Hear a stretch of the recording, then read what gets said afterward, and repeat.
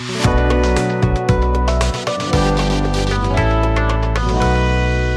नमस्कार, विंध्या टाइम्स में आप सभी का स्वागत है। प्रदेश की लाडली बहनों को 10 जून से एक हज़ार रुपए हर माह मिलने लगेंगे।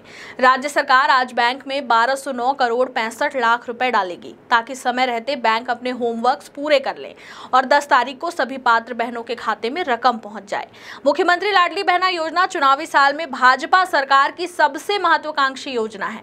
योजना की लोकप्रियता का अंदाज़ा इसी से लगाया जा सकता है कि योजना लॉन्च होने के पहले से ही महिलाओं में उत्साह दिखने लगा था।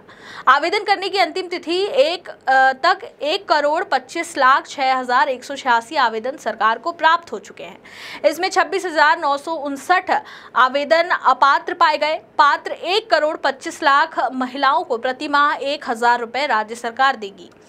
लाडली बहना योजना को लेकर मुख्यमंत्री शिवराज सिंह चौहान खुद सक्रिय हैं। उन्होंने पात्र लाडली बहनों को एक जून से स्वीकृत पत्र बांटने की शुरुआत भी कर दी है। स्वीकृत पत्र सात जून तक बांटे जाएँगे। जनप्रतिनिधियों द्वारा भी इन्हें बांटा जा रहा है। तीस प्रतिशत स्वीकृत पत्र बांटे जा चुके हैं। समय रहते सभी पात्र महिलाओं को ये पत्र दिए जाने की तैयारी है। शिवराज कह चुके हैं कि यह महिलाओं का जीवन बदलने वाली योजना है। 10 जून को उत्सव के तौर पर यह कार्यक्रम मनाया जाएगा। प्रदेश में महिलाओं और बच्चों के स्वास्थ्य और पोषण तथा उनके आर्थिक स्वावलंबन के लिए अलग अलग योजनाओं का क्रियान्वयन किया जा रहा है।